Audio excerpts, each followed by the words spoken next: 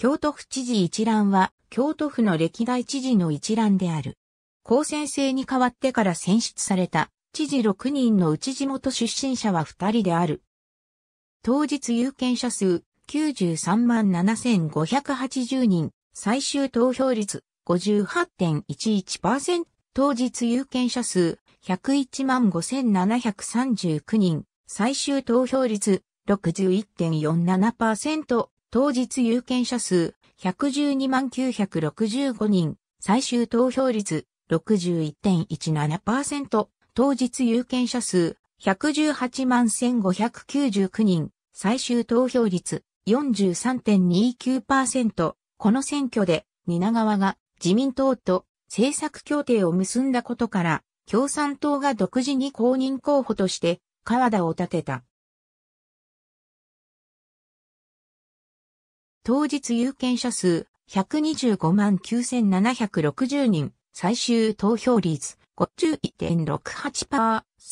当日有権者数137万7431人、最終投票率56.55%、当日有権者数155万9443人、最終投票率72.96%、当日有権者数166万2143人、最終投票率63.81%、当日有権者数170万7517人、最終投票率67.47%、当日有権者数175万4807人、最終投票率59.99%、当日有権者数181万5198人、最終投票率47.53%、当日有権者数。186万4955人、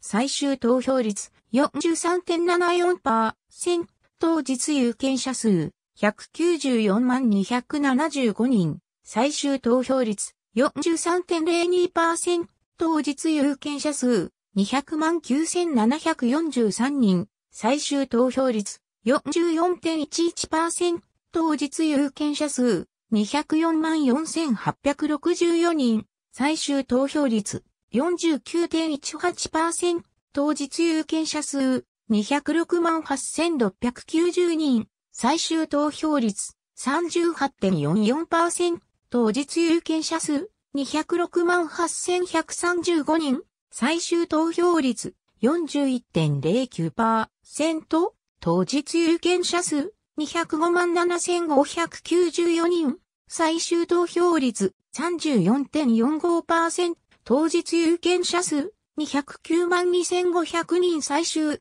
投票率35.17%副知事の定員は3人である。